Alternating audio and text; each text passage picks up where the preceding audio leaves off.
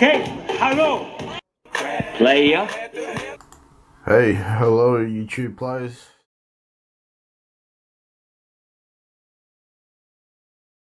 Creates a simple parametric sphere, with position, angle 1, angle 2, angle 3 and radius parameters. Usage Switch to the part workbench. There are several ways to invoke the command. Press the sphere button in the toolbar. Select the part primitive sphere from the menu bar. Result, the sphere will be positioned at origin, .0, 0, 0 on creation. The angle parameters permit to make a portion of sphere instead of a full sphere. They are set to 360 degrees by default.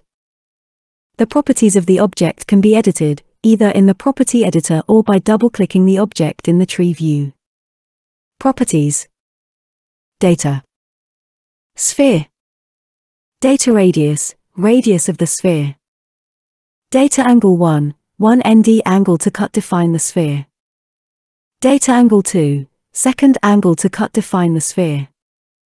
Data angle 3, third angle to cut define the sphere.